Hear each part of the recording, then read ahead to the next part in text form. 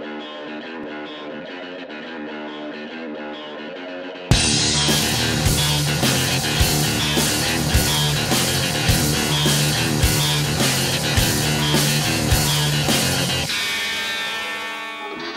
qualcuno ci avesse chiesto qualcosa, cosa avremmo risposto? Forse le mie frasi, vagamente comprensibili, o le tue, sicure solo negli intenti?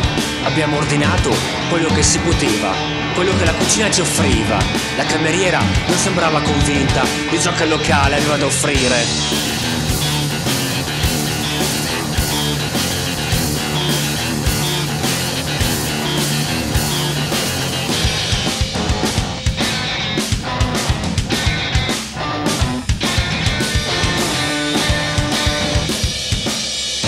L'importante era avere da bere, mi sono detto.